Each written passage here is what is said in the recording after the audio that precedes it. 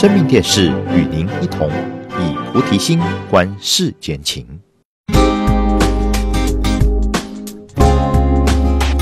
接下来，请收看菩提系列。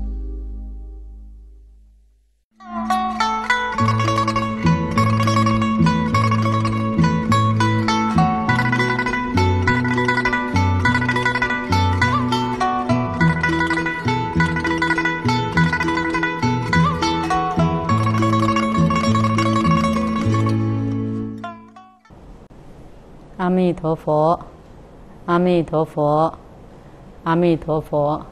各位大德，我们很高兴在一起来探讨世亲菩萨所注解的《发菩提心经论》。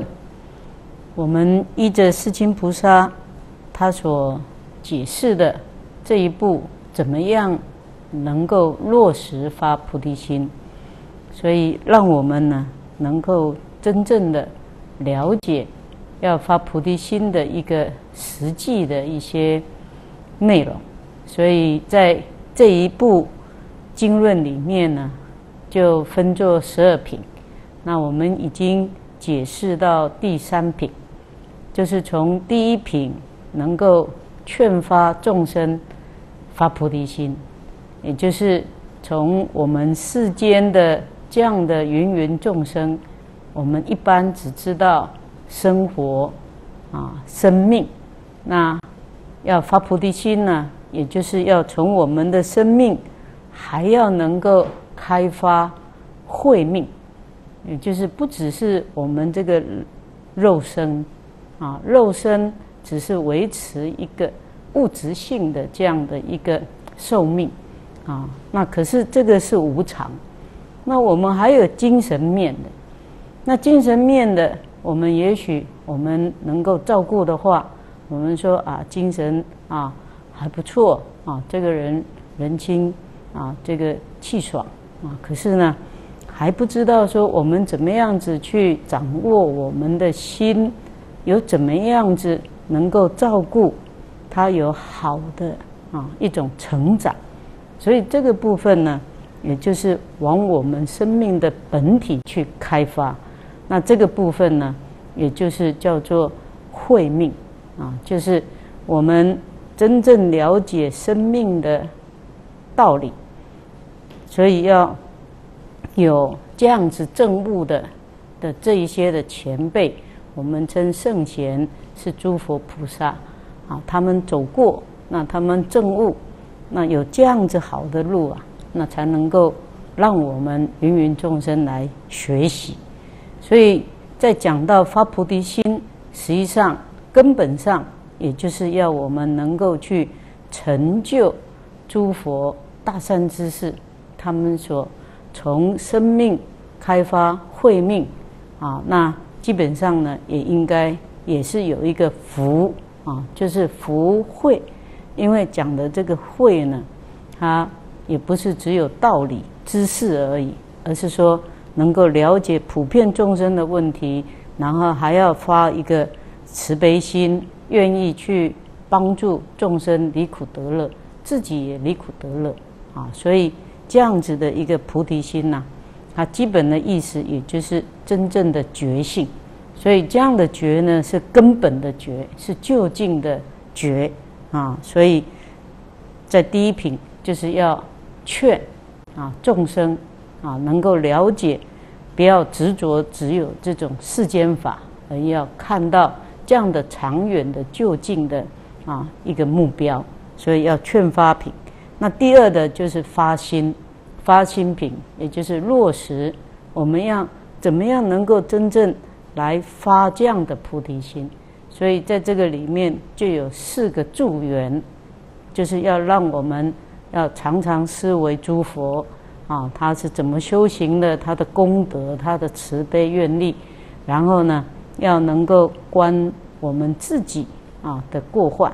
也就是说，我们在这个世间呢，都是无常的啊，都是有苦的啊。世间啊，这一些的现象，我们也要能够看得透啊。那第三呢，也就是要发起一个说，我我们要成就一个很殊胜的一个果。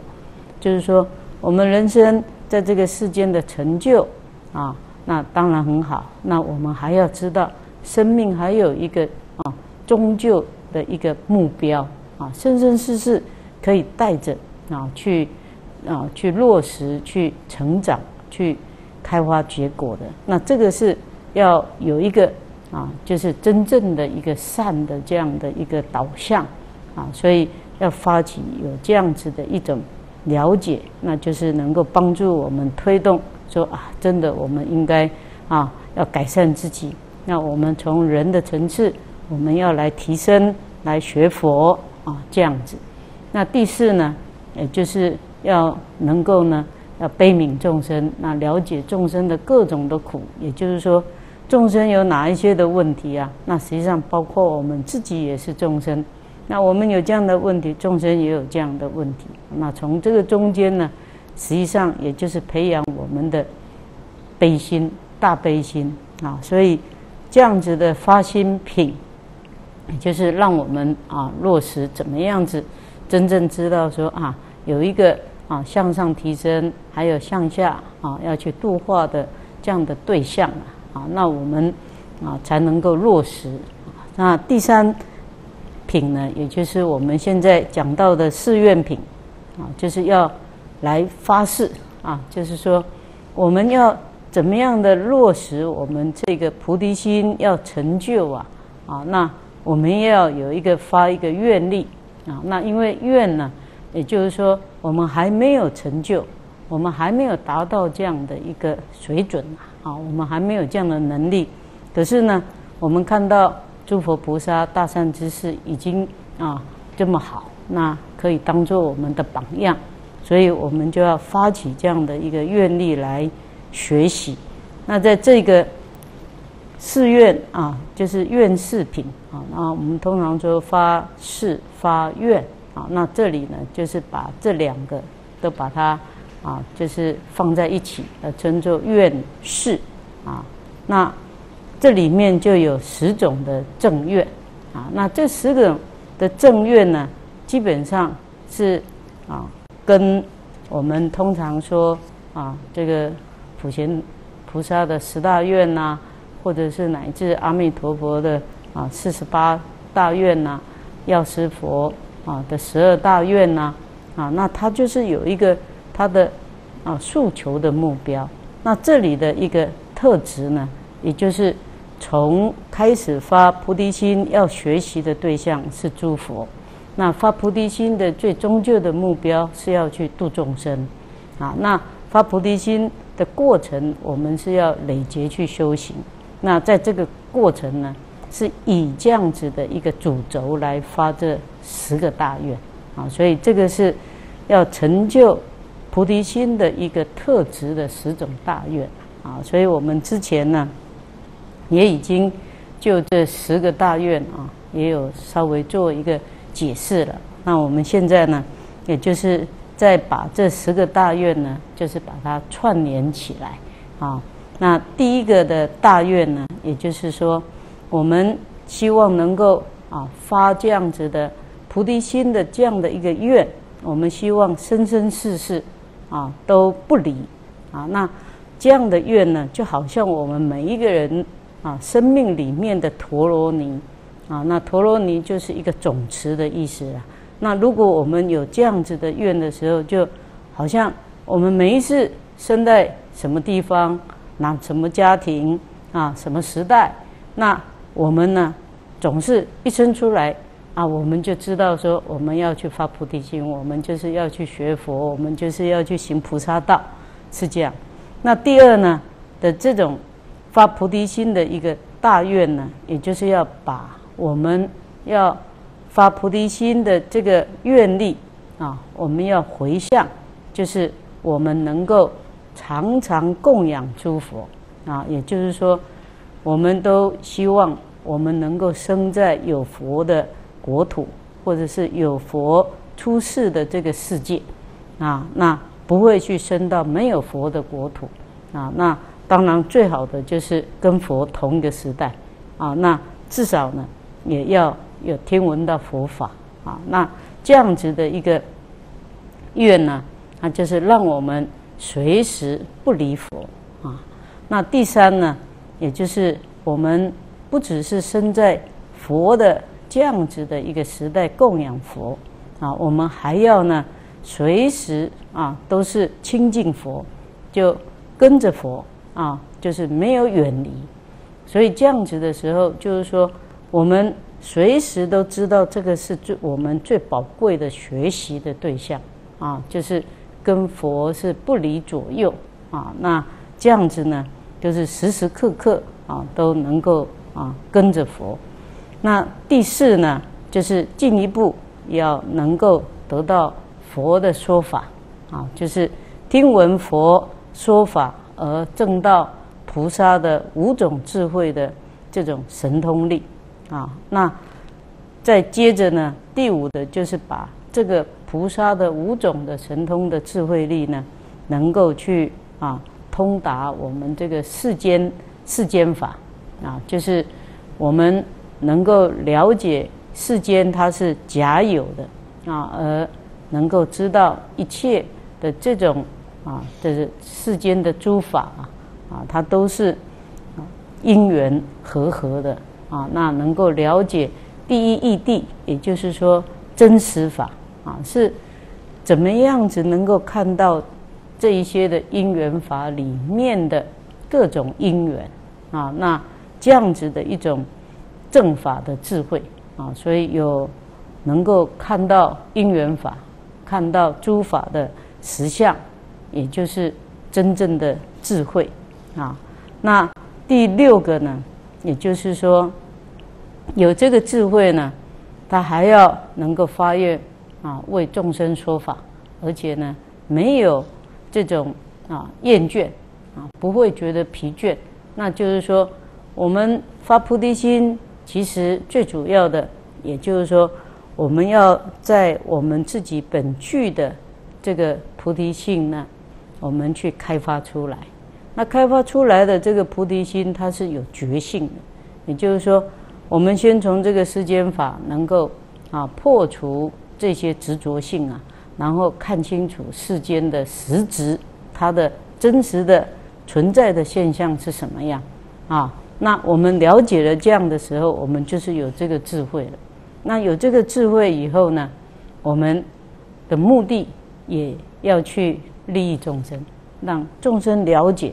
所以呢，就不能够有这种厌倦的心，啊，就是要看到众生的这样子的啊苦境，啊，那希望能够有各种的方法，啊，所以要示教利喜，皆令开解，啊，让众生呢能够得到这样的法的利益，啊，也离苦得乐，是这样。那第七个呢，也就是能够有这样子的一个。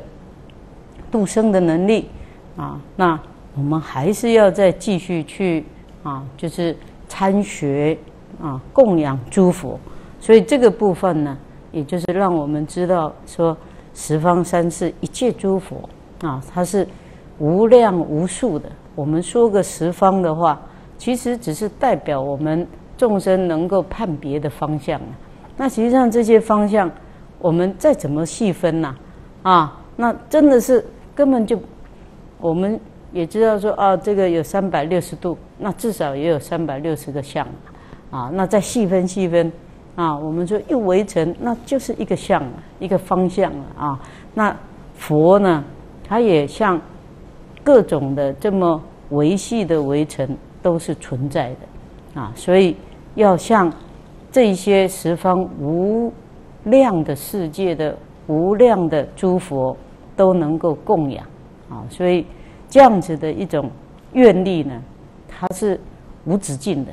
就是我们发菩提心要学习的对象也是无止境的，然后也在十方的这么无量无数的诸佛的世界呢，听佛啊来说法供养诸佛，而且呢也能够啊在十方的佛国土呢广设。这些众生，啊，那这个是第七个月，那第八个月呢，也就是能够得到十方诸佛的这些的正法学习了以后啊，那就要转清净法轮。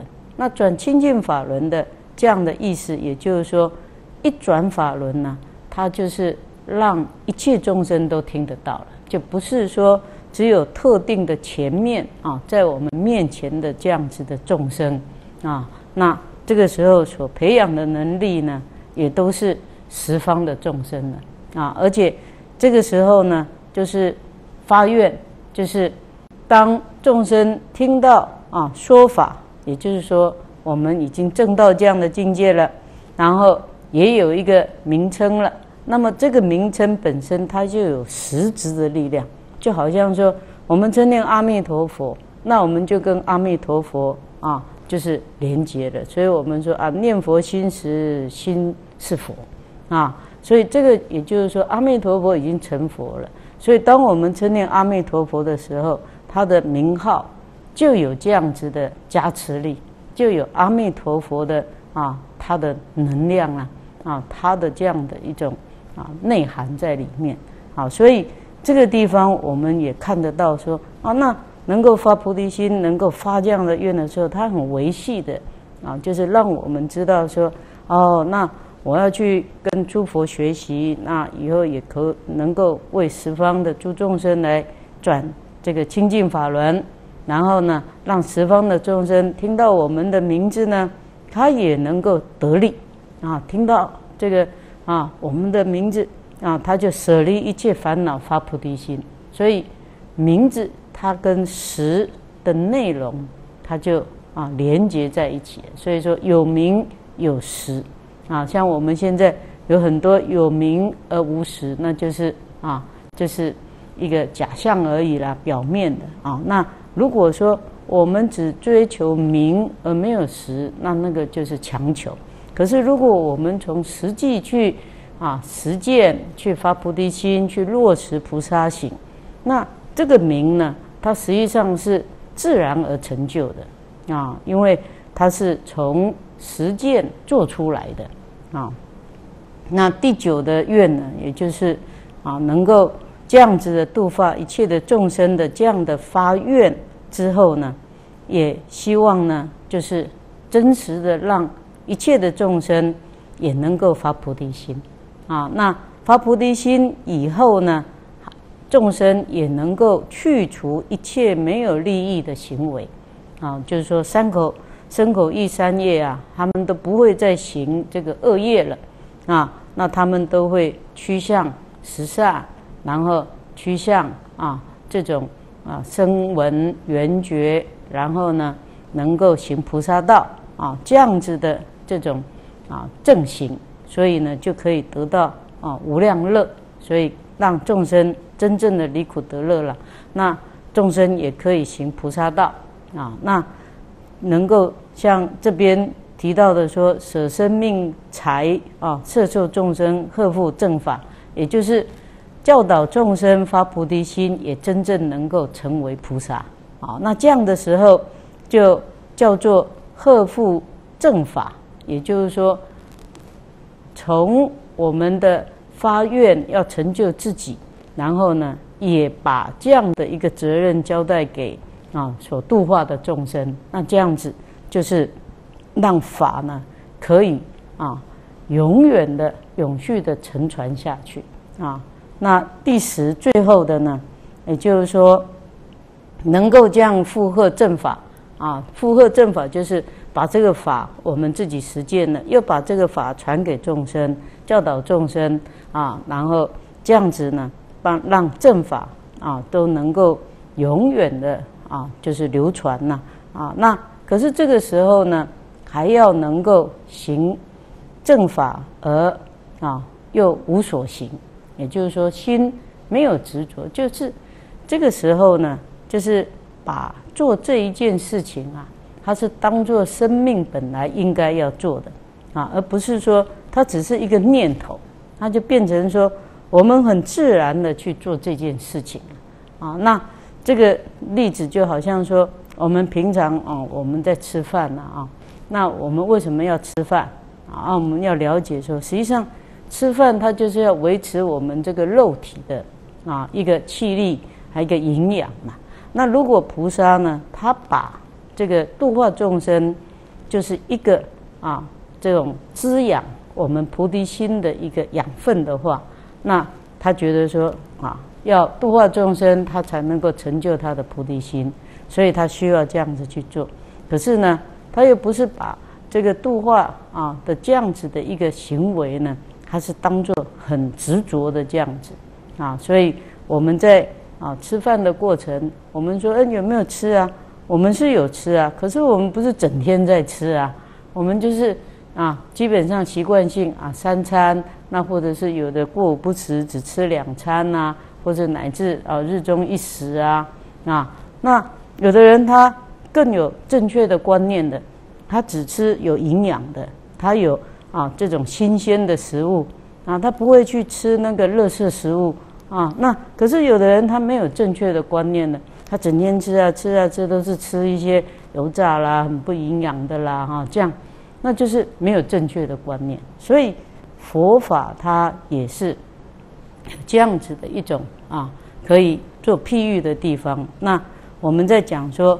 有形，可是又无形，啊啊，无形又没有说不行，啊，就是我们自己的观念呢，它跟这一件事情啊，就是结合在一起了，啊，所以不是只是说啊，我们初学当然说啊，我要做什么事情，我要记得，啊，我要对人家客气，啊，我不要骂人，我不要啊，就是啊，怎么样子的，常常有起什么样的念头啊。好，那我们在学习的时候，我们是要记得这样的事情。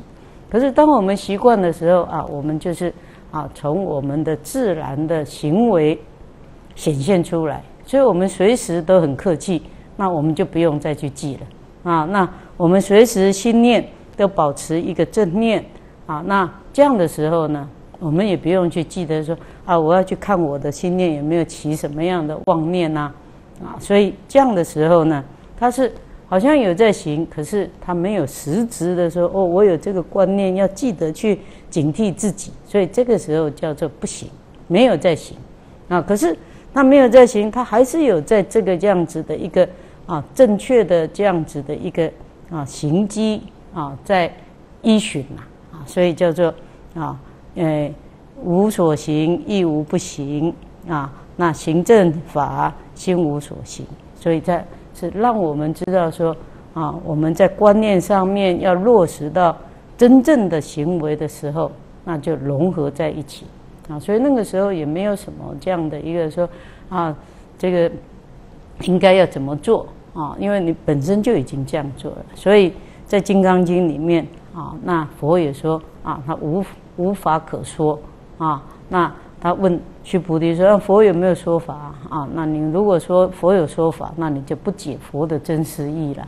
是这样子。因为这个法本身也是因为有这件事情，所以我们来说。可是不是说我们说的这个内容，它就是法的实质啊。这个部分呢，可能是比较有一点抽象啊。可是我们也要知道啊，就是说他在第十个这个大愿里面呢。”主要是要我们啊，跟我们所修的这个菩提行啊，要附和这个正法呢。它实际上不是只有一个名相，而是我们叫落实在那个里面啊。那这样的时候呢，就好像如人饮水啊，冷暖自知了啊。所以那个时候都不是用形容的了啊。那一讲是哦，原来是这样，是这样子。所以那个时候。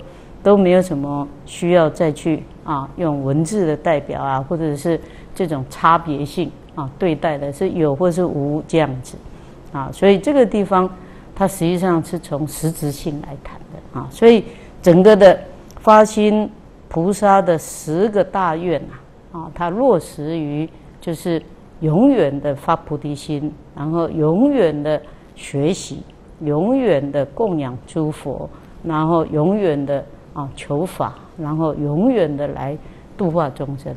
那菩萨发这样子的大愿，实际上呢，他也是乐在其中啊。所以这样子能够了解的时候，我们才知道说，为什么维摩诘经说啊，这个众生有病，我有病啊。然后不求自己得安乐，但愿众生得离苦，啊，那这个就是因为菩萨已经看到了啊，就是一切众生的共同性，然后呢，他发起这样子的大愿，自己成就也要成就众生，啊，所以在发菩提心经论里面特别呢要讲到这个十个啊大愿，就是啊这个愿事品啊，也是让我们。可以知道说，这个生命它是啊，就是无限的扩展啊，所以也是有要无限的这样的发愿啊。所以下面的结论呢，也就是说，这十个大愿啊，它是要能够骗一切众生界，也就是说，所有的十方法界啊，只要有众生的地方，就要去度化，要发这样子的愿啊。所以这样子的时候呢，跟第一个的啊，这个啊，就是劝发品啊，一样相对说，为什么我们要发菩提心？那这个抛菩提心的内容是什么？也就是要了解到说，我们的啊心量无限，那众生也无限啊，所以用这样子的愿啊，它也是啊无限啊，没有任何的这些的啊停止或者是限制的。所以他要摄受一切恒沙诸愿啊，也就是说，能够要度一切的众生呐，实际上也是不容易啊啊。那我们就要呢，以这十个大愿呢，再来摄受一切恒沙诸愿，也就是说，所有佛菩萨所发的愿，我们也要来啊来摄受。所以这样子的话，就也包括我们。啊，提到的说啊，普贤菩萨的十大愿呢，要礼敬诸佛啊，要称赞如来啦，啊，要广修供养啊，忏悔业障啊，随喜功德啊，勤转法轮啊，请佛住世，常随佛学，恒顺众生啊，还有普皆回向啊，所以等于是说，从这样子的无量无数的啊的这种愿力呢。它都包含在这十个大愿里面啊，所以它是一个发菩提心而能够成就一切啊这样子的一个啊这种啊整体性啊。那这个部分呢，也就等于是我们谈到发菩提心论的第三品啊，它就到这里结束了啊，就是十个正愿，要包括一切的恒沙的。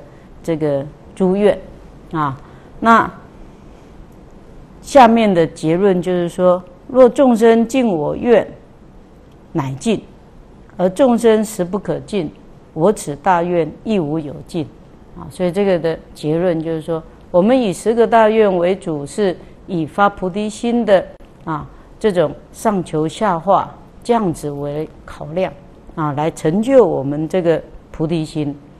那这十个菩提心的愿力，我们还要来包括一切的愿啊，所以这样的愿是基础啊。那一切的佛菩萨的愿都是要去啊学习的。那最后的，也就是说，那我们这样发的这个愿的时间呢，它也没有啊一个一个啊止境的一个时间呢，是无尽的啊。所以说是。众生都度化了，那那个时候才是我们愿力啊，就是就是到了这个尽处啊，就是结束的时候。那只要众生呢，他不尽啊，不尽，那我们这个愿也没有啊尽头了啊。所以这个部分呢，其实我们啊要发精进的心，实际上也是针对于说菩萨。要发愿啊，要行菩萨行，它是就是没有啊止境的啦啊，所以我们看到的观世音菩萨啦啊，跟我们这个娑婆世界啊最有缘的，还有地藏王菩萨啦啊，也都是发着一样的说：地狱不空，誓不成佛啊；众生度尽，方证菩提啊。实际上，也就是要从上求下化里面呢。看到说，其实众生他也是不可能尽的啦。这个啊，我们在从普贤菩萨的啊恨愿品里面也是看到说这个啊十方的法界的这些的众生像尘沙一样的多啊啊，那这些的众生啊，他是不可能是啊完全尽的啦啊，因为这个是整个的一种众生的一个愿啊，他的一个业啊在那里。那可是我们的愿力也是一直在发啊，所以这样子的过程呢，其实也是让我们看到说，学佛啊，要在于我们生命的这种提升、发菩提心的这样子的一个就近圆满啊，其实它也是无止境的啊。所以用这样子的一种观念呢，也就是让我们啊，就是不断的。去成长，不断的去学习。那何况说，我们目前呢所存在的这样的一个啊的一种层次啊，实际上我们还是很浅的啊。我们跟佛菩萨比起来呢，我们只是初初开始说啊，我要发菩提心了啊。那我们也不要怕，我说哦，那要好久哦啊。那这样的时候呢，我们就要反过来也要看啊。如果我们不去发这个菩提心的时候，那我们一直都是在众生的境界啊，那那种苦还是更久啊。那那个是，那我们说啊，真的是苦不了哈，真的是不了结这种苦的不了结的这种时间呐，那那也真的是累劫，就是啊无穷尽的，就是更苦啊。所以看到这一点的时候，我们。还倒不如说哦，我要发菩提心啊！那这个路虽然是长啊，可是这个路我们走了是安乐的路，我们真正的一个啊，让我们成长啊，有向上提升的路啊，所以用这样子来啊，来劝慰自己啊，劝导自己啊，所以我们为什么要闻思修啊？也是用种种的方法让我们了解。所以我们也知道说学佛，其实啊，我们像一个过程呐啊，我们初初开始学佛也是在学佛，三四十年啊以来，我们现在也在学佛。那学的内容也其实也是差不多啊啊。我们说以前我们在学六度波罗蜜，现在也在学六度波罗蜜啊，因为我们做到多少，那实际上学的这种差别，也就是说，我们从名相了解。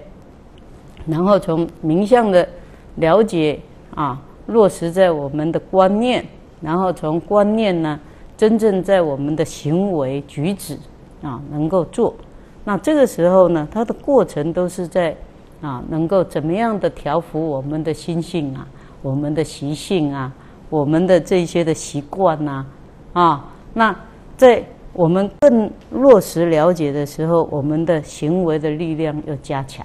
啊，所以这样文思修，文思修，我们文思修也一直都在学习呀，啊，所以这个路是很长，可是还是得走啦，啊，所以我们也不要觉得很苦，我们要觉得很乐，我觉得哦，真的还好，我们学佛了，我们知道哦，生命是无止境的，啊，那学习是无止境的，啊，那我们不学也也是无止境的苦啊，哈。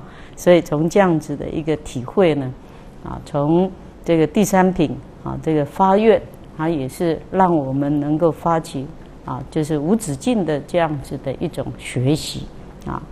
那下面呢，就是要开始的，就是另外一品啊，也就是从四愿品以后呢，啊，就是要落实来行。所以落实来行呢，就是以六度波罗蜜为代表。啊，所以从第三品之后呢，就有就是布施波罗蜜，就是第四品，然后有啊持戒波罗蜜，我们说布施、持戒、忍辱、精进啊，然后呢禅定跟波若啊这六度呢，就是各占一品，所以就从啊第三品到布施、持戒这样下来呢，六度。之后就是第九品，啊，那从第十品以后呢，因为行过六度波罗蜜啊，它是落实在这种行为去实践，所以他就能够开始进入看到诸法的实相，所以第十品开始呢，就有如实品啊，然后第十一品呢就能够看到诸法它的性空，所以空无相品啊，然后第十二是功德持品，就有功德了啊。那从这样子的一个连贯性，我们就可以体会到，常常啊不了解佛法啊讲空的，以为说空空如也啊，什么都是空啊啊，那是什么都没有啊，所以就说佛法是消极了啊。那实际上我们要知道，从这个发菩提心经论的这样的这个啊一品一品这样下来，它的一个次第呢，它让我们知道说。啊，前面三品劝发品、发心品、誓愿品，啊，或者是愿事品，啊，那它是发起我们的真正要落实来啊发菩提心的这样子的一种啊，它的基础啊扎得很啊很坚固了。然后呢，真正的实修的部分就是六度波罗蜜，然后六度波罗蜜以后呢，我们才真正开启智慧了啊，所以能够观察诸法。啊，他的实相，他的性空啊，这些，然后最后才算是有功德的，真正的啊，能够把持住的是这样。所以接着呢，我们下面也就是要进入这个六度波罗蜜啊。那六度波罗蜜，我们刚刚说，它就是第四品的这个布施度啊，就是檀波罗蜜啊。那在这个之前呢，它就有一个。啊，就是叙述六度波罗蜜的重要性啊，所以这个部分等于是六度波罗蜜的前言啊，所以这边的文字啊，就是开始啊，就是从布施开始啊，说复次，布施是菩提因，摄取一切诸众生故啊，持戒是菩提因，具足众善满本愿故。忍辱是菩提因，成就三十二相八十随行好故；精进是菩提因，增长善行于诸众生勤教化故；禅定是菩提因，菩萨善自调伏，能知众生诸心性故；智慧是菩提因，具足能知诸法性相故。啊，取要言之，六波罗蜜是菩提正因啊。那这个是一个序序文啊，就是六度波罗蜜的前面的一个简介。六度波罗蜜为什么这么重要啊？所以每一个度，它就简单的讲一个重点啊。第一个就是说布施啊，这是六度的第一个啊，第一项，它是菩提因，也就是说。布施它是菩提种子，啊，就是怎么样能够得到菩提，哎，就是要去行布施，啊，所以说布施是菩提的因，啊，那就等于是说有布施，那就是有一个菩提种子的因，那能够得到菩提的果，是这样，啊，那布施呢最主要的目的。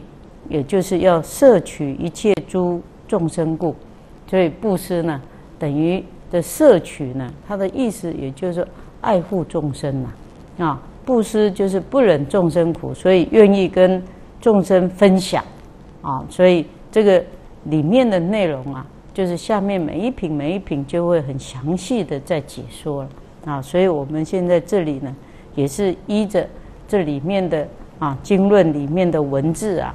啊，就是大略掌握它的要点啊，也就是说，布施的一个目的，主要它是希望能够让众生啊啊能够摄取他们啊，就是能够啊不忍他们受苦这样的心，要能够分享。那持戒是菩提因，也就是说，每一项都是啊菩提的种子，让我们能够成就。菩提的啊，它的因素啊，那持戒的目的呢，是要具足众善，满本愿故，也就是持戒。我们说本来是不行恶啊，啊，就是不杀、不盗啊、不淫啊、不邪淫啊，那不妄语啊、不饮酒，这样子来做根本的戒啊。那这样子呢，是不要做不好的事，可是相对的，它也是好事。那从消极的是去除这些不好的行为，啊，那积极的啊，他又再进一步的啊，不杀生又能够放生啊、护生啊，啊，那不偷盗呢，又能够布施啊，啊，那这样子的一种精进的行为，所以要能够具足众善，那满本愿。啊，也就是我们自己本身，它就是本来的戒体，它是清净的啦。啊，所以因为持戒，所以能够保持我们自己的戒体的清净。啊，那忍辱是菩提因啊，那成就三十二相八十随行好故，所以这个也是从根本的利益来说了。啊，也就是说，我们能够啊修忍辱，也就是。不要随便啊发这种嗔恨心呐。那讲到忍辱的时候，主要是针对这个逆境来说啊。那因为逆境呢，它会啊就是触怒我们嘛啊。那所以呢，我们就要修这个忍辱，而不生这个嗔恨心。那它的一个成就呢，就是在于有三十二相，八十随行好啊。那我记得啊，初初学佛不久。啊，我读过这个《圣曼夫人经》啊，啊，那他的里面就讲到说啊，这个啊，就是喜欢发嗔恨心的人呢，啊，他的脸孔呢就会有凹啊，一个洞一个洞啊。那我那时候就很怕，说哦，那生生气的话啊，你就会啊，这个脸呢就会找那凹凹凸不平这样的哈。所以我们现在看到说，哎，那这里他说忍辱是菩提因呐，那。这个菩提，它可以修忍辱而正道的果，就是从他的相貌来呈现出来。所以成就三十二相啊，就是佛的相好啊啊，他的这种庄严相啊啊，他的特殊的大人相啊啊，就是原来是从这个忍辱来成就的啊，就是相好，其实也是他的心能够啊不。这个生嗔恨心，那是由忍辱来的啊。那精进是菩提因啊，也就是说，精进也是能够成就菩提的一个因素啦。那我们通常了解的精进呢，也就是啊，要持之以恒呐，不要间断呐啊。那学佛呢，就是一直要啊去精进，就是啊不要就是退转呐啊，就是。啊，高兴就去学啊，最高兴去佛佛堂啊，啊，高兴去发心啊，那不高兴就不做了啊，那这样就有中断。那这里讲的啊，就是真正的这种落实精进的话呢，它是能够增长善行于诸众生，勤教化故啊，也就是说，我们的这个啊利益行为呢，它应该是能够啊。持续的去增长啊，不是只有说啊，我只是为了要去做这个事情，那有做就算了。他是啊，就是做的时候，他还要能够改进，能够要持续这样子的一种啊考量，所以是用真心去做啊。所以在精进的这样的内容，它实际上是有说我们了解应该怎么做，然后要把它做得好。然后我们有无比的这样子的一种心力啊去做，那最主要的，它也是因为要能够教导众生啊，要利益众生，所以精进它有一种好像让我们的这种心啊，它随时都放在这个上面啊，有这样子的一种关怀的这样子的发心。那第五项就是禅定了啊，那这边。的主要的重点也是说，禅定也是菩提因啊，一定要修禅定啊，来成就菩提心啊。因为菩萨善智调伏，能知众生诸心性故，也就是禅定最主要的要先从我们的心念来调伏啊。那它的调伏，当然禅定最主要是不要起妄念，然后心能够专注，那处于一个。啊，就是安定的这种状态，它是有专一的对象啊。因为我们众生的心呢，它是散乱的，所以不定啊，就是乱动，所以叫不定啊。那禅定就是心，它就是不乱啊，不会随便动啊。那它有动的话呢，它就是随时知道它的对象是什么啊。那我们平常我们就一个念头接着一个念头啊，想的自己都不知道自己在想什么啊，所以心呢很乱呐。然后呢，想的啊，头都啊，我们说啊，昏头转向啊，所以这个时候的调伏，是把我们这么乱、这么散的心呐，啊，他要把它啊凝结起来，摄受其心啊，修摄其心呐。那心禅定安定的时候呢，这边特别讲的重点是说，能知道众生诸心性，那也就是说，从禅定中呢。他能够啊体会到，其实人跟人之间，他的心是可以相通的，啊，所以说能够知道众生诸心性，也就是他心里在想什么，啊，所以我们在啊就是有六通啊，啊就是阿罗汉他可以啊修定而证到这个六通里面呐，啊就是。有天眼啊、天耳啊、神足通啊、他心通啊、术士通啊，啊，还有最重要的就是漏尽通，就是没有贪嗔痴烦恼。那其中的这个他心通啊，也就是能够知道众生的诸心性啊。那这个部分强调这个，就是要能够行菩萨道啊，所以能够知道众生的心，那才能够啊。入如来教，嗯，就是说，那众生他到底他的啊问题是什么啊？那也要能够了解到，才能够落实解决他的问题了啊。所以这个部分呢，应该是着重在要利益众生啊，要教化他的这样的考量啊，不是像一般啊，就是有的修炼呢，他知道人家在心里要想什么，那是邪知邪见啊，他是为了要来。啊，控制众生啊，要来啊，要来得取他自己的利益啦。那那这个就是邪行啊。那在佛法呢，绝对是正行啊。所以这个部分呢，我们就了解到啊，六度啊，那每一项都是菩提的因啊。那最后一个就是智慧是菩提的因啊。那我们这个单元啊，就是先解释到啊，这个啊六度波罗蜜的。这样的一个重点呐，啊，那以智慧是菩提因的重点呢，就是能够具足知道诸法的啊，它的性相，就是说它的啊看起来的特征是什么？是相。那它的性，就是它里面会造成这样的相的原因是什么？就是内跟外都能够看得到啊，所以这个就是佛法讲的智慧啊。那我们先。做这样的一个啊浅显的啊的解释，那在下面每一品啊谈到每一度的时候呢，他就会再详细的解释。那我们就我们这个单元所学习的啊，我们来做回向。愿以此功德庄严佛净土，上报四重恩，下济三途苦。若有见闻者，悉发菩提心，尽此一报身。同生极乐国，阿弥陀佛。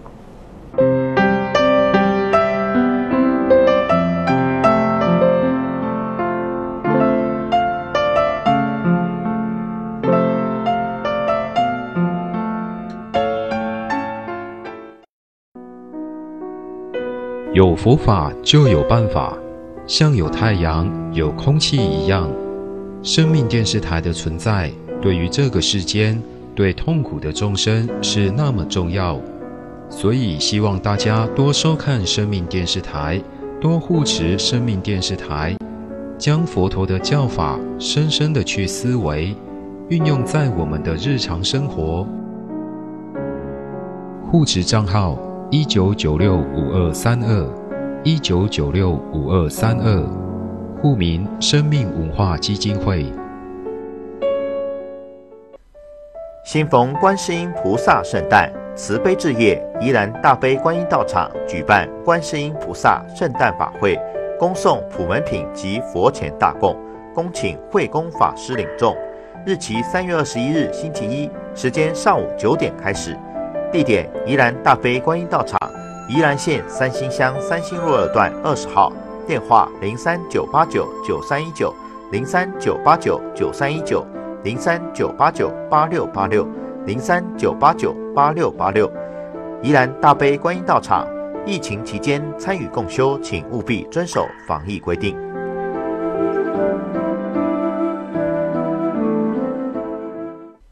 佛教慈悲置业基金会南投分会诚征义工，洽询电话零四九二三一五九九九零四九二三一五九九九，地点南投县草屯镇振兴街七十号。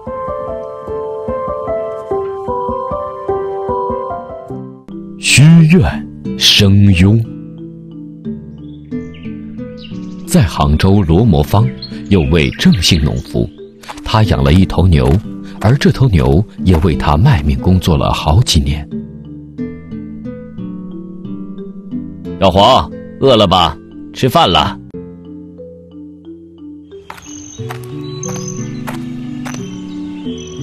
小黄，我们回家了。小黄，休息下了。随着时间推移，这头牛的岁数也越来越大，并且也又老又病。后来也就无法继续工作了。老伙计啊，你在我家工作也很多年了，这些年你可真是为我们家辛苦了一辈子了啊！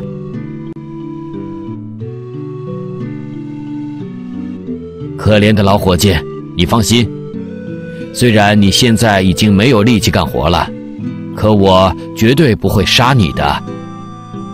我会一直养着你，直到你生命结束的。到时候，我一定会好好将你厚葬的。然而几天后，有一位屠户来到了郑姓农夫家里。郑大哥在家吗？谁呀？听说你家里有头老牛，我能看看吗？好啊，你跟我来。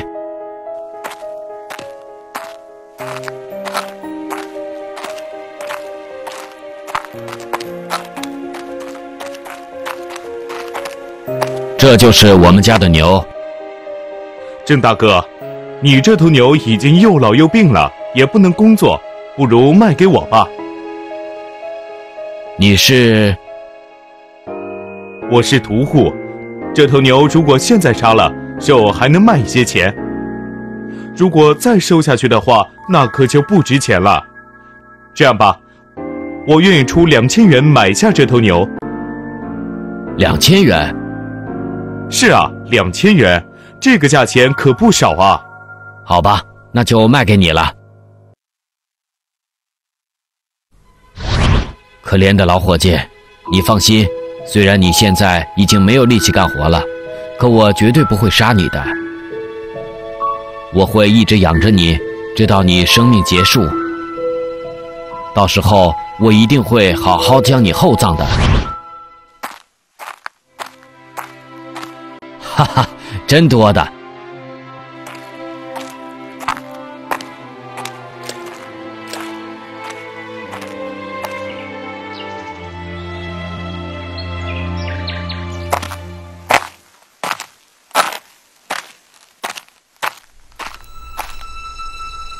老郑，你家的那头老牛呢？我刚才看到有个人牵你家的那头老牛走出了村子。是啊，那头老牛被我卖了。啊，你把它卖了？你不是说要一直养着它，等到它死后还要厚葬它吗？可是那个屠户出价很高啊，两千元呢。为了这两千元，你就把为你卖命工作这么多年的老牛给卖了？你还曾经答应要照顾他呢。老郑，你这么做会遭报应啊！哼，一头老牛能卖上两千元，这样的买卖不做就是个傻子。几天后的某个晚上，这位郑姓农夫做了一个奇怪的梦。诶，这不是我家那头老牛的叫声吗？啊，老伙计，你怎么回来了？你本来说要帮我厚葬，没想到竟因贪爱钱财而害死了我。你这个见利忘义的小人，我今天是要来向你索命的。啊！不要追我！哪里跑？啊！不要追我！啊哎呦，痛死我了！啊啊！原来是做梦啊！哎呦，背部好痛啊！怎么回事？背后怎么长了个毒疮？明天得找医生看看。就这样。这位郑姓农夫的背上长了一个毒疮，找了许多医生都没能医好。唉，这病不好医治啊！这些药你拿回家吃吃看吧。好的，谢谢你。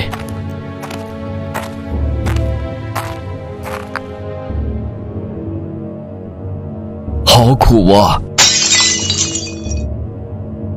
哎呦，痛死我了，痛死我了！后来，这个毒疮逐渐溃烂，一直烂到连内脏都能看见时，他才痛苦的死去。啊！痛死我了，我受不了了！我得快进去救救老郑。痛死我了，痛死我了！老郑，你忍着点，我去帮你找医生。没用的，这是报应。你说的没错，为了两千元。我就把为自己卖命工作好多年的老牛卖了，我还曾许下承诺要照顾他呢。我真的遭到报应了，真实不假的报应啊！唉，因果报应，真是不假啊！